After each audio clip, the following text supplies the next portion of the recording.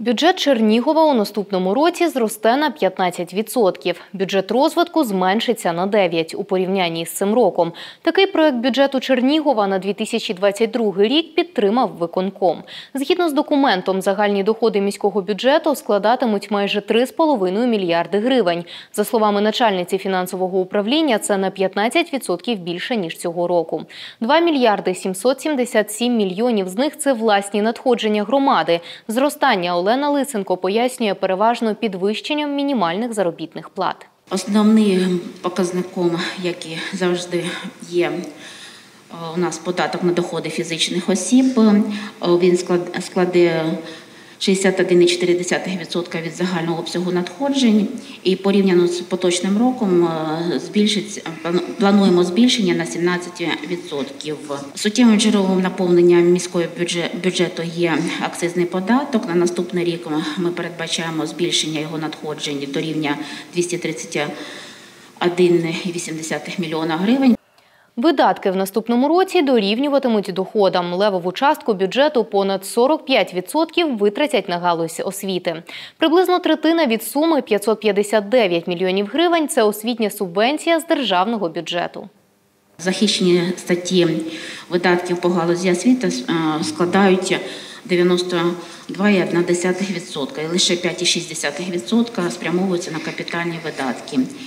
Проте е, ця сума складає 87 мільйонів і планується завершити всі розпочаті цього року роботи і продовжити е, модернізацію проведення теплових пунктів з установкою е, ІТП по закладах загальної середньої освіти.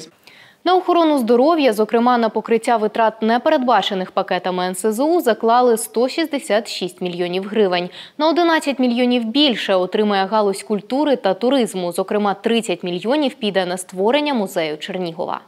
Наразі йде ре- реконструкція, реставрація з застосуванням пам'ятки архітектури місцевого значення поштова станція в Обернське казначейство. На це передбачено на наступний рік 18 мільйонів. Пар- Паралельно з цим буде проводитися пр- роботи з облаштування забезпечення функціонування в цьому приміщенні музею. Менше ніж минулого цьогоріч отримає сфера житлово-комунального господарства. За словами міського голови Владислава Трошенка, це пов'язано з тим, що місто має компенсувати теплопостачальникам різницю в тарифах на опалення для населення. Сума компенсації складає 206 мільйонів гривень. Крім того, ми е, очікуємо е, збільшення видатків на електроенергію, е, якої ми використовуємо, використовуємо приблизно 15 е, мільйонів кіловат годин за рік. Приблизно 15 мільйонів. От здорожчання на 1 гривню кіловат години е, призводить до збільшення втрат бюджету на 15 мільйонів. Бюджет розвитку в наступному році скоротиться на 9% і складатиме 519 мільйонів гривень. Для прикладу, торік він становив 568 мільйонів. Зокрема, заклали 45 мільйонів на реконструкцію парку Попудренка, 33 мільйони на купівлю п'яти нових тролейбусів, 10 мільйонів на будівництво початкової школи номер 23 у мікрорайоні Бобровиця і майже 6 мільйонів на капремонт Центру спортивної боротьби «Що на валу». Ще 18 піде на реалізацію проєктів бюджету участі.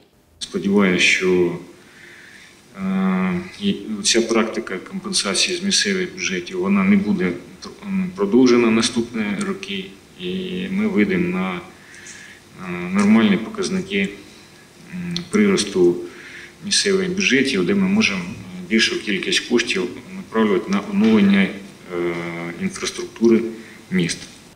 Анастасія Лоза, Наталія Гоман та Олександр Поліщук. Новини на Суспільному.